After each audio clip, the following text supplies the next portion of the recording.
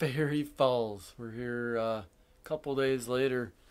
Probably one of the most underrated free places that I've ever got to go, I think, around here. It's only 10 minutes away from where I'm at. It's over in Stillwater. It's actually super surprised this day. Uh, we kind of just went there out of the blue, and uh,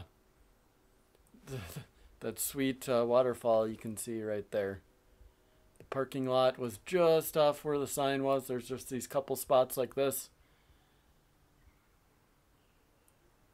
And so it really took me by surprise, this one did. And uh, check this out.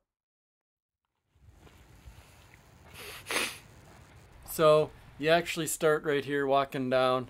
Right away, it's almost like you can see just below the falls or above the falls, watching it come down. And You're like, well, that's a cool, little stream. And then you notice you can stand off to the side, and there it is. It's falling right down from right there. So that was really unique for like a free place, easy walking. I will say that you can check out this. It's not. Uh, we definitely got lost. The trail was hard to find. Um, there was uh, some unique just no signage. You kind of had to find your way. From what we saw from the map, that definitely didn't go along the lines of the same way. But uh, it has this cool, check this out. You're up here on this ridge, surrounded by all this public land, or private land, sorry.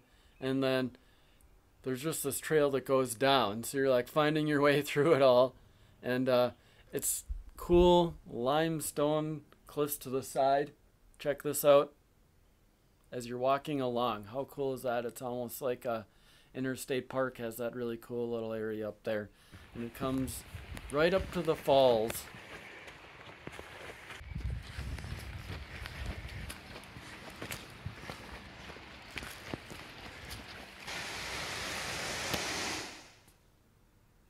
And for like Minnesota and a free park. I couldn't believe how cool this this land was. Definitely like super um, low key, super uh, out of nowhere. Just caught me off guard. This one did because I'm a person that loves me some falls, and uh, it was definitely for like a quick little walk. Besides the fact of trying to figure out where you're going, it was just pretty amazing. I thought for like there's some state parks that don't have falls like this that it's fairly high up and cool.